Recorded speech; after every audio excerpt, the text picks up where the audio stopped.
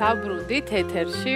ფიქრობ, რომ ძალიან პოზიტიური განწყობა დაგვიტოვა ჩვენმა წინა სტუმრებ, დაგვიტოვა ჩვენმა სტუმრებმა და დღეს საუბრობთ ძალიან აქტუალურ თემაზე, განსაკუთრებით სექტემბრის ბოლო ხდება. სწავლა დაიწყო უკვე ზოგან 1 სექტემბერს, ზოგან 15 სექტემბერს და რეალურად გვაინტერესებს თუ რამდენად ბედნიერები არიან ჩვენი შვილები სკოლაში.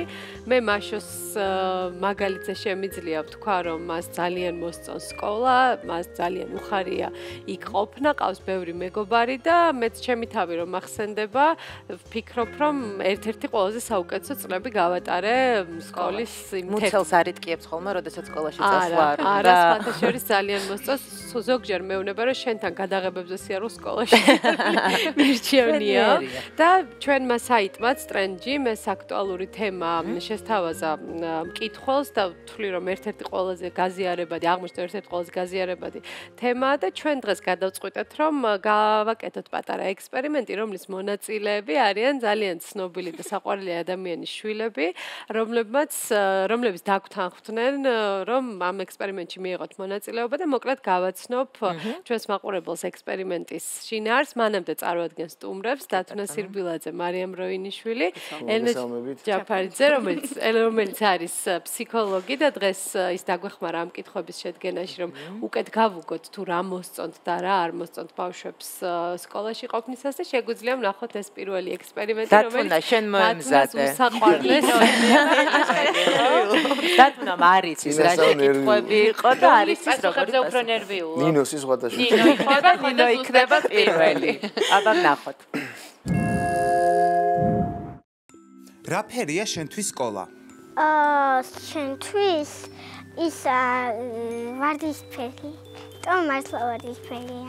სკოლაში მოსვლისას პირველი რას აკეთებ და რისი გაკეთება გინდა ხოლმე? აა, რას ვაკეთებ და მათემატიკას სწავლობ იმაზე. და მეორეს ვაკეთებ ისა მე წიგნები თუ აჭიშობ მათემატიკას. რას უსურვებდი შენ სკოლაზე შენ მეგობრებს? აა ისა ვაღიდან რომ ამოვიდნენ. შენ რომ მასწავლებელი იყო, რას ეთამაშებოდი ბავშვებს? ანუ რისი გაკეთება გინდა მასწავლებელთან? მეთქვა რატომ მაგას? ისა რაღაცეები, თქვა დაწეპება და რაღაცეები, როგორც ხელოვნება.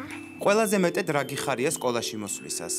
მიხარია ახალი მეგობრები. და და ახალი და და ისინი გაკვეთილები. სკოლაში ვის მოყავ ხარ? ვის? მარი ტრანსპორტ. როგორია შენ საოცრებო სკოლა? როგორ სკოლას დახატავდი და რა გქონდა? სკოლას დახატავ. აა როგორიც სკოლა. გვაჩვენე როგორ მოდიხარ სკოლაში? ეხარული რაღაცები. ხო, ხო.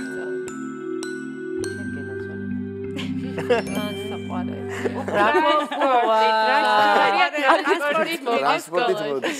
დათუნა, რა კითხვა იყო შენთვის უცნაური და რა პასუხმა დაგაკითხა? აი პასუხი ერთი თქვა რომ რას უსურვებდიო? მეგობრებსო და ანუ რაღაც ცოტა უცნაურად თქვა, მაგრამ ანუ თქვა რომ ანუ ბაღიდან რომ წამოვიდა გულიწდება რომ ანუ იქო კარგი იყო. სკოლა სკოლა კარგი არის ამას ამბობს რომ ძალიან უხარია რომ სწავლობს და გაკვეთილები აქვს და უკვე რა ფერია ისა აქ ანუ სხვანაირი მიდგომა ქონა აი ეს ბაღის მონატრება მაინც დარჩა აჰა. რომ აი ბაღი და ეგ თქვა ეხა ზუსტად რომ აი უსურვდი რომ ბაღში იყვენო დიდხანსო რა ალბათ. აი ეს იგულისხმარა იმიტომ რომ სუმაგას მეუნება რომ ბაღი ენატრება ელენე ეს შეკითხვები საგანგებოდ შენ მოგვაწოდე ხო? და ბუნებრივია ძალიან დიდი ინფორმაციის მიღება შეიძლება. სხვადასხვა ჩვენ კლასელები ვიყავით. ჩვენ უნდა აღენიშნოს ჩვენ სამი კლასი შეიძლება შეგვიძლია მე გავაგრძელო. თქვენ მე მოგვაწოდე მაგაზე ისაუბრე ანუ ეს შეკითხები იყო ყველაზე ასე ვთქვათ მაქსიმალურად ზოგადი, მაქსიმალურად ღია და მაქსიმალურად პოზიტიური. ანუ იმ შეკითხებს შორის რაც შეიძლება რომ ჩაეტიოს ინფორმაცია, როდესაც ძალიან სწრაფად ბავშვისგან გინდა რაღაც გაიგო. და სხვათა შორის ხშირად გონიათ ხოლმე რომ პოზიტიურ შეკითხვას ბევრი ინფორმაციის მოტანა არ შეუძლია და პოზიტიური შეკითხვა არ მოგცემს თუნდაც ნეგატიურზე, რასაც ბავშვი განიცდის და გრძნობს ინფორმაციას. რაც არის არასწორი. ანუ რა ფერია სკოლა? ეს არის ძალიან ბავშვისთვის გასაგები კითხვა, რომელზეც აბსოლუტურად არაცნობიერად გეუბნება იმ ფერს, იმიტომ რომ ეხლა ნინისთვის სკოლა არის ვარდისფერი, ხო? და ნინი შემდეგ ასე ვთქვათ, ბიჰევიორალურად რატო ვთხოვეთ, რომ მან მოქმედებაში გვაჩვენოს როგორ მოდის სკოლაში. იმიტომ რომ თუ ის მოღუშული მოდის და გეუბნება რომ ვარდისფერია სკოლა, მაგრამ მისი სხეული აბსოლუტურად სხვა ენით გვესაუბრება, ჩვენ შეგვიძლია უკვე სხვა ტიპის კითხვები დავსვათ, ჩავეძიოთ და ვეძიოთ რაღაცა პრობლემა, რა რატომ არის აცდენა მის ასე ვთქვათ მეტყოლებასა და მის რეალურ ემოციურ მდგომარეობას შორის, რომელიც გამოისახება ბავშვი განსაკუთრებით სხეულებრივი ენით. მეორე ყოველთვის ჯობია რომ ბავშვი დაუსვა მისთვის გასაგები ძალიან მარტივი კითხვა, რომელზეც პასუხი იქნება და არა რთული კითხვა, რომელზეც პასუხი არ იქნება. რო კითხო როგორ მოგწონს სკოლა, ბავშვი აუცილებლად გიპასუხებს ან რავი აბა, ან კი მომწონს, ან არ მომწონს. არაფერი აქედან გასაგები არ არის. რა მოგწონს, რა არ მოგწონს, ანუ აქ არის შეგრძნების დონეზე საუბარი, იმიტომ რომ რაღაცა შეიძლება მას აწუხებდეს და ეს ამის ფორმულირებაც ვერ მოახერხოს რა. როდესაც ის ფერს მიანიჭებს სკოლას, როცა ის გეუბნება რომ მე დავხატავდი სკოლას მაგალითად და დავხატავდი ისეთად როგორიც არის ფანტასტიკური პასუხი იყო, იმიტომ რომ მან მიიღო სკოლა, თუმცა ის გულის წყვეტა რაც დათუნამ როგორც მამამ აგვიხსნა ეხა რა ხდება, ეს რა არის? ეს არის ახალი გარემო, რომელთანაც მას ჭირდება ადაპტაცია. ანუ ამ გარემოს 1 და 2 თვეში ბავშვი არ ეგუება. ისე ჩვენ მივიყვანეთ ბავშვი სკოლაში დავტოვეთ და ის არ გამოგვეტირა, ეს იმას არ ნიშნავს, რომ ის შეეგუა და ადაპტირებულია. მარიამის მარიამის ელენეს კითხავს მოსმინოთ და მე კიდევ გთხოვთ ისე ასუხების გაშვით. ვთქვათ ჩვენ და ჩვენი მაყურებლისთვის. რა ფერია შენთვის სკოლა? მმ რა ვიცი რა არის ოს იცი რა მ ოს წვა სკოლაში მოსვლისას პირველი რას აკეთებ და რისი გაკეთება გინდა ხოლმე როცა მოდიხარ აა მინდა რო გავაკეთო სკოლაში მინდა ძალიან გავაფერადო ძალიან ბევრი რაღაც და რა ვიცი მინდა გავაფერადო რას უსურვებდი შენ სკოლას შენს მეგობრებს ჩემ მეგობრებს და სკოლას. აა მეგობრებს ყველაფერს ვულებდი და მმ ხანდახან მეჭყვება ხოლმე ყველას ეჭყვება მასწავლებელი ხო? შენ რომ მასწავლებელი იყო, რა სათამაშებოდი ბავშვებს და რისი გაკეთება გინდა მასწავლებელთან ერთად? თამაში. ყველაზე მეტად რა გიხარია სკოლაში მოსვლისას? მიხარია იცი რა? არა გიხარია სკოლაში. პირველად რომ მოვედი სკოლაში, ისე მომეწონა ჩემი სკოლა, რომ გავგიჟდი. ძალიან მომწონს სკოლა და აა კარგად ვქცევი ხოლმე. სკოლაში ვის მოყავხარ? მ ხანდახან დედიკოს. როგორ სკოლას დახატავდი და რა ფერებში დახატავდი? დახატავდი თეატრად სტაფილოს ფრად ვარდის ფრად და გვაჩვენე როგორ მოდიხარ ხოლმე სკოლაში? ესე მოდივარ ხოლმე.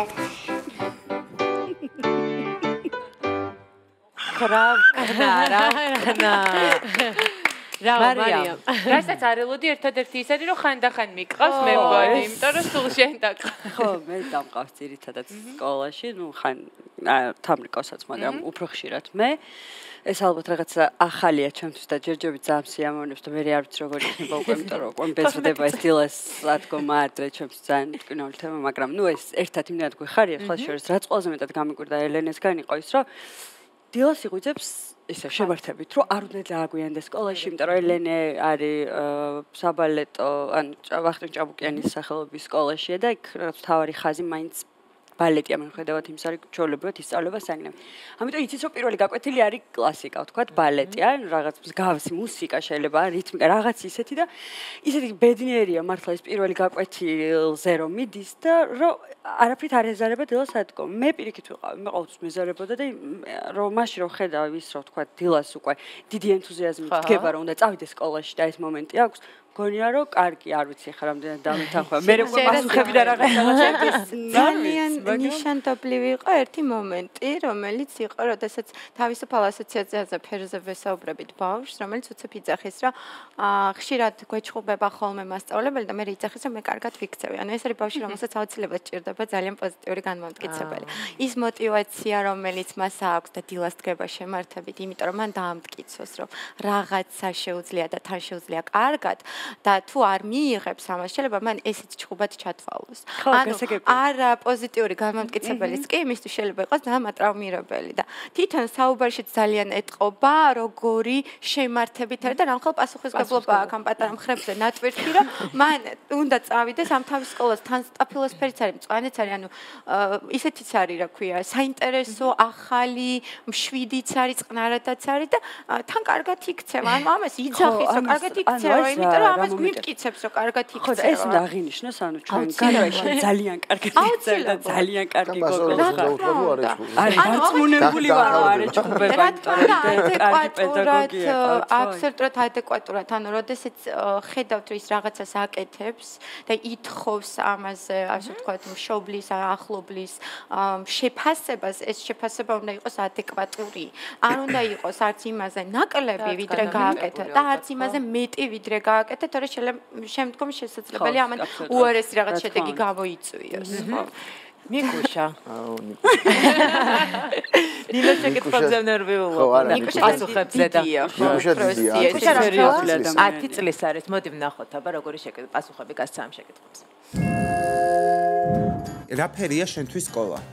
მმ ფერი ფერი თუ კარგია თუდია. არა, რა ფერი? აა. რაც ფერი? შავი. სკოლაში მოსვლისას პირველი რას აკეთებ და რა გინდა რომ გააკეთო? მმ ისე ვაკეთებ. ავდივარ კლასში და ველოდები მასწავლებელს. რას უსურვებდი შენ სკოლა, შენს მეგობრებს? რა წარმატებულად დაამთავრე სკოლა და მმ კაი მომავალი კანა.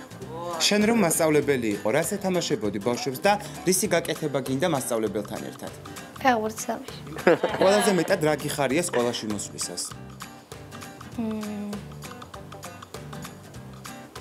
სკოლაში მოსვლა. რატო გიხარია სკოლაში მოსვლა? იმიტომ რომ აა მასწავლიან ახალ რაღაცებს, გებობ ახალ. სკოლაში ვის მოყავ ხარ? სკოლის ტრანსპორტს. როგორია შენი საოცნებო სკოლა? როგორ სკოლას დახატავდი და რა ფერებში? მმ იქნებოდა ძალიან ძალიან ძალიან დიდი და იქნებოდა სუშა. გვაჩვენე როგორ მოდიხარ ხოლმე სკოლაში?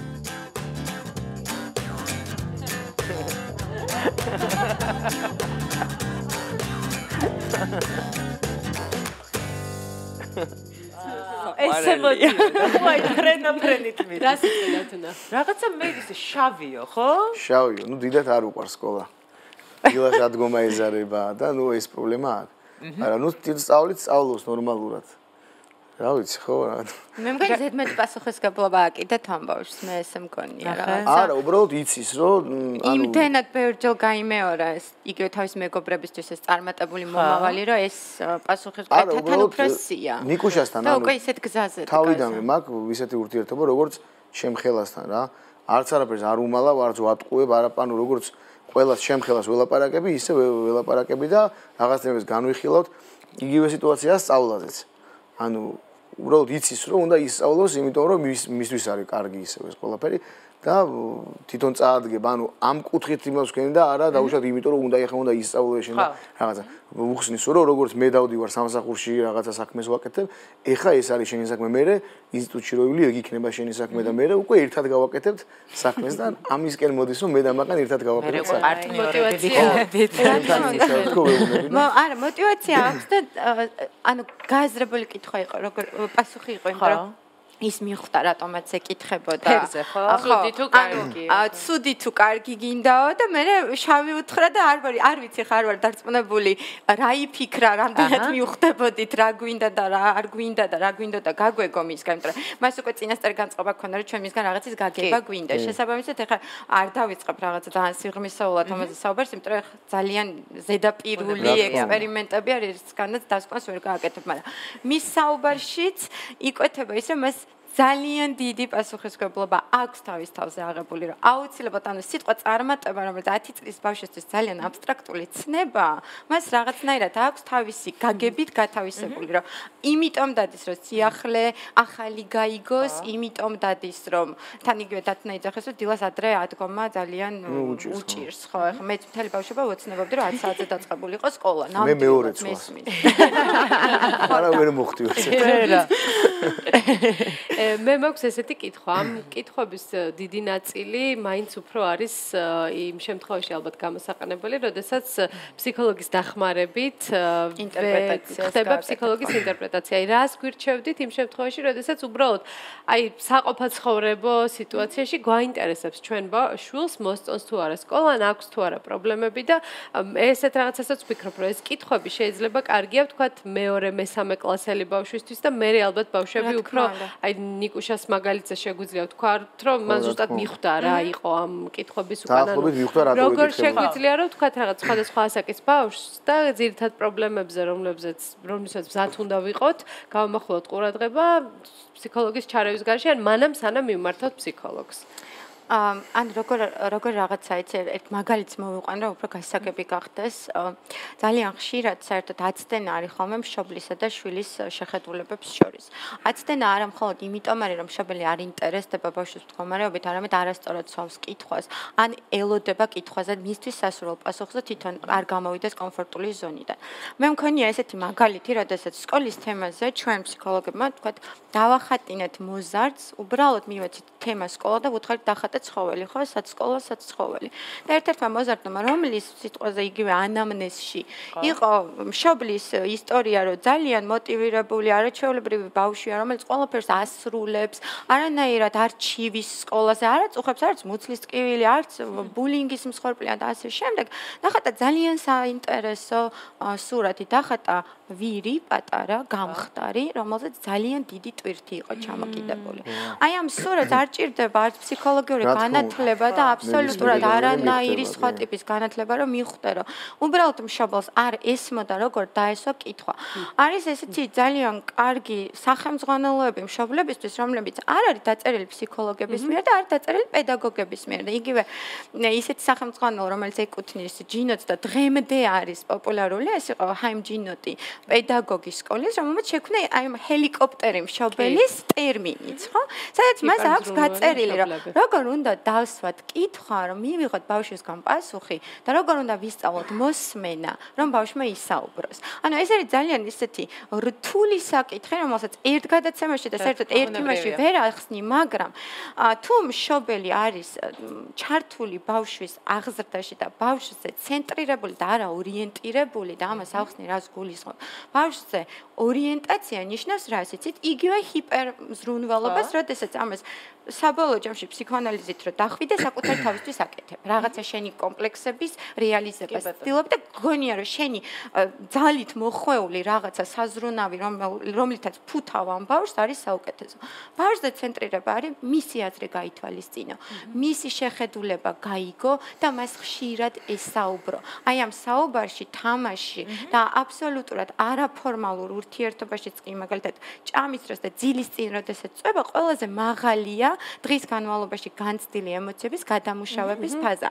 სადაც ხშირად არის იგივე ჩემშულების მაგალითად შემიძლია ვთქვა, რომ დღის განმავლობაში შეიძლება არც ერთმა არაფერი არ თქვას და ძილის წინ იწება თელ ასე თქვა კაცობრიობის პრობლემებზე დაარც მაგალითად და იწება ამაზე საუბარი. იგივე შეიძლება როგორი რაღაცა გააკეთოთ, იცით, როდესაც ბავშვი არ მოგყვება საუბარზე, არ დააძალო იმ მომენტში. თავი დაანებო და შემდეგ ითამაშო. შესთავაზო მაგალითად ნახატე ვიცი რომ ძალიან რთულია. მით უმეტეს დღეს როდესაც ყველა მშობელი მუშაობს როდესაც დრო არ არჩება მაგრამ მაინც იმ რეკომენდაციას ასე ვთქვათ ვემხრობი რომ ნახევარი საათი და 15 წუთი სრულფასოვნად ბავშვთან კონტაქტი უფრო მნიშვნელოვანია ვიდრე მთელი დღე ბავშვთან ერთად ყოფნა და უკონტაქტოდ ყოფნა. იმიტომ რომ კონტაქტი არის ცენტრირება მის სურვილებზე და მის გრძნობებზე და განცდებზე. მე ჩემშვილებთან მიმართებაში გამომიყენებია პროექციული მეთოდები და ძალიან რთულია იმიტომ რომ მე მათ თან მიმართებაში ვერ ვარ ფსიქოლოგი, იმიტომ რომ პირველ რიგში ეს დედა ვარ. თუმცა არის აი ესეთი მაგალითი, რომ დღეს რომ შენ ყოფილიყავი, მაგალითად პატარა მერხი შენ სკოლაში რომელიც დგას. რა სიტყვა და ის მერხი და მოდი ვითამაშოთ და დავდგათ. რაღაცა 15 წუთიანი ის შოუ. და აი წარმოიდგინე ნებისმიერი ნივთი შეგლია მოიტანა და უთხრა რომ ეს არის იმ სკოლაში მერხი და რა სიტყვის რას ხედავს ეს მერხი და აღმიღწერე და ამ დროს ბავშვის კომპლექსი რომ რაღაცა არ თქვა ის რაღაცა დამალოს. არის კლიანტ ჩახსნილი იმიტომ რომ ალაპარაკებს მე და შეამჩნევს რომ პირველი 10-15 წუთი მან შეიძლება მერხიზე ილაპარაკოს მესამე პირში და შემდეგ იწება მე. ეს მე იმდენად ისე იწება რომ უკვე კლიანტ მოხსნილია მთელი ეს ემოციური ელენეს გაუჩნდა ერთი შეკითხვა ხომ? სამი მარიამს გაუჩნდა ელენესთან და მარიამს გაუჩნდა ელენესთან როგორ უშამაც ახსენე და ელენემაც ახსენე რომ აი თამაში. თამაში ხო ანუ რას ფიქრობ? ისი რა პრობლემა ანუ სად არის უფრო პრობლემა თქვა განათლების რეფორმაში რომ ეს ყველაფერი თქვა პირველ კლასელი ხა ელენე ნიკუშა დიდია გასაგებია ეს ყველაფერი აკლია მას თამაშის დონეზე ხო არ უნდა ხდებოდეს? იმ ყველაფრის თქვა კეთება და შესწავლა რაც არის ზოგადად პირველ მე საერთოდ მიმაჩნია რომ საქართველოში განათლების სისტემაში სერიოზული ხარვეზები გვაქვს რაც მხოლოდ და მხოლოდ არც სკოლის განათლებას არც უმაღლესის და არც სკოლამდელ განათლებას ეს ცალ-ცალკე არ ეხება, ყველაფერს ერთიანად ეხება. იმიტომ რომ ბავშვი ბაღიდან გადადის სკოლაში, სკოლიდან მოდის უნივერსიტეტში და შემდეგ უნივერსიტეტის დონეზე იწყება საუბარი იმაზე, რომ ჩვენ ყავს მაგალითად თაობა, რომელსაც აკლია განათლება. მაგრამ მხოლოდ განათლება არ აკლია, იგივე ემოციური ინტელექტის გამომუშავება აკლია, რომელიც სკოლაშივე უნდა გამომუშავოს. თამაში სხვადასხვა პროექციული მეთოდები, ყველა ბავშვმა ახსენა გაფერადება, რაღაცა ხელოვნებასთან დაკავშირებული მომენტები, რომელიც ნიშნავს იმას, რომ ამის დეფიციტი მარტია. შეგვიძლია მათემატიკაც ვისწავლოთ ისე, რომ რაღაცა გავაფერადოთ და სხვა საგნებიც და მათზე იყოს ორიენტირებული. რო გაერთონ რა, სწავლის პროცესში რომ მეტი ძალიან ძალიან ხაროთ. ყველაფერ შეიძლება მოვაკლოთ დრო მოკლედ გარდა ბავშვების. ხო ეს არის დასკვნა. ძალიან დიდი მადლობა. დიდი მადლობა. შევისვენოთ ჩვენ ცოტა ხნით და დავბრუნდებით.